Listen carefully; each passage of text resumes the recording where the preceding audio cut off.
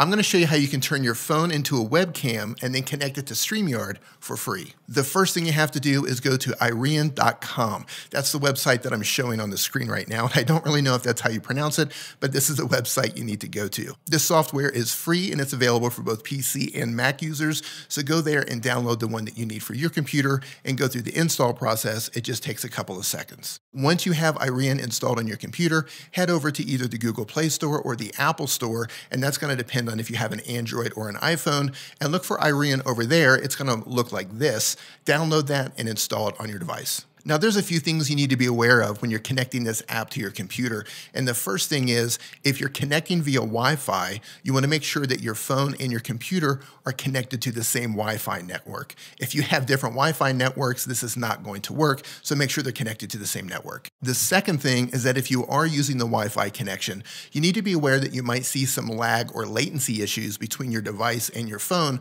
when sending the signal to your computer. Now, you can resolve this by simply using your charging cable plug it into your device and take the USB side and plug that into your computer, and it's going to get rid of any latency or lag issues that you might experience if you're using Wi Fi. So, if you want the best possible connection, always use a cable. As soon as you open up Iriun, it's going to try to connect to your computer, but first it's going to take you through a series of permissions where it's asking you if it can have permission to access your microphone and access your camera. You want to go ahead and say yes to all of these because you want to make sure that the app is fully connected to the software. Once you've approved all the permissions, it's going to either immediately connect the camera or it's going to say waiting for a connection. If it says waiting for a connection, make sure you go ahead and open the software on your computer. Once you have the connection, look up in the top right hand corner, you're going to see a camera icon. This is where you can choose between the front and back facing lenses on your phone.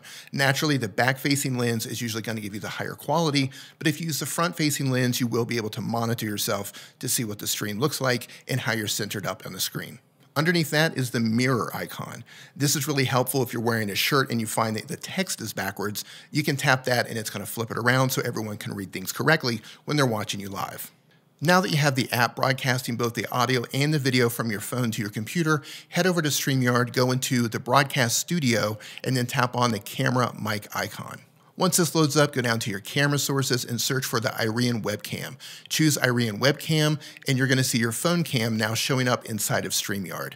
Next, you want to head over to audio to select the correct audio source. While you can use a microphone that's built into the phone, and if you have a mic connected to your phone, that's fantastic. It's going to sound great. But if you have an external audio source or a different microphone, just double check that you're using the correct audio source. Then go ahead and enter the broadcast studio, and you're ready to roll. Now that you've turned your phone into a webcam, let's get your lighting together. Go ahead and tap on the video that's showing on the screen right now, and I'm going to show you how to do that. Thank you so much for watching, and I'll see you in the next video.